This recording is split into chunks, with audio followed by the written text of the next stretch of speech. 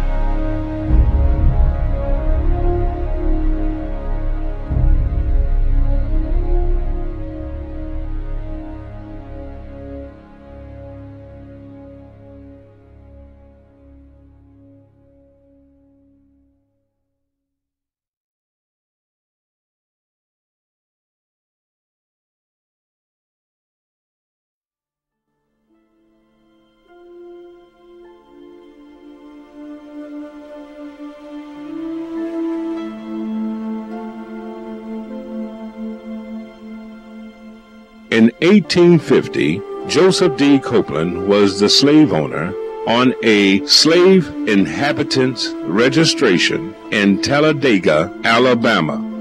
On the registration, it shows that the slave owner Joseph D. Copeland owned one 70 year old black male, one 15 year old black female, Ann Lewis.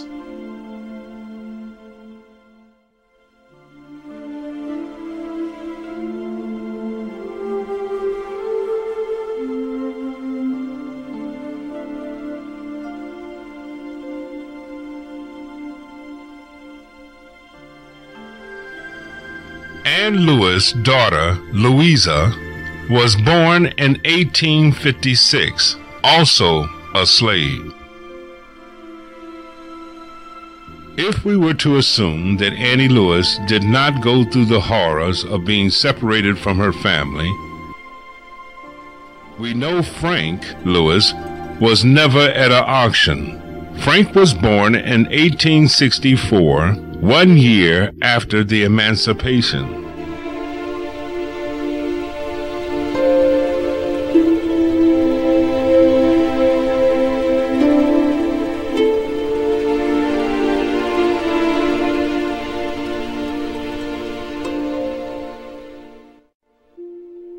This document, an 1850 census, shows that Joseph D. Copeland was an auctioneer himself.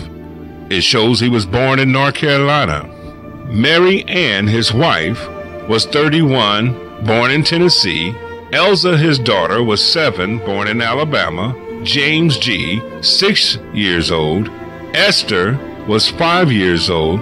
Ann, his daughter, was 4 years old. Martha, his daughter, was two years old, and his mother, Mary M. Cross, was 60 years old, born in Ireland.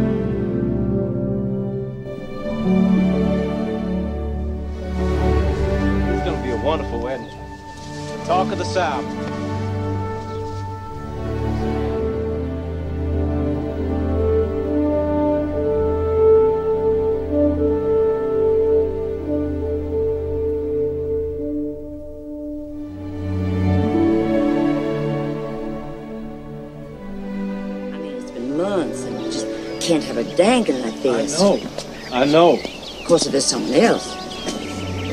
No, Liz is the one. I, I Well, just then what are you waiting for? James, love, I suppose. love can come later. Duty must come first.